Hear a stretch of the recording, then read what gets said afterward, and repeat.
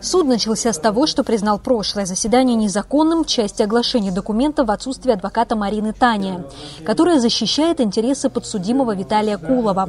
Ходатайство защитника огласить эти материалы еще раз суд удовлетворил, как и ходатайство обеих сторон не оглашать показания без личного присутствия на процессе свидетеля Казбека Кишмахова, который занимал должность заместителя министра внутренних дел в то время, когда произошло убийство Анзора Тарба.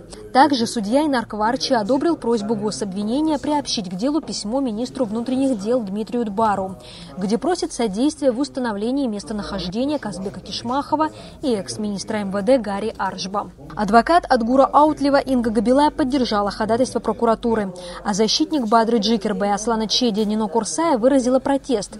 По ее мнению, протоколы следствия не содержат информацию о том, что Гарри Аршба находился в ночь убийства в здании МВД, и поэтому нет никакой необходимости в его допросе в ходе процесса. Адвокаты потерпевшей стороны не согласились с такой постановкой вопроса, так как считают, что пробелы следствия можно и нужно устранять в ходе судебного разбирательства.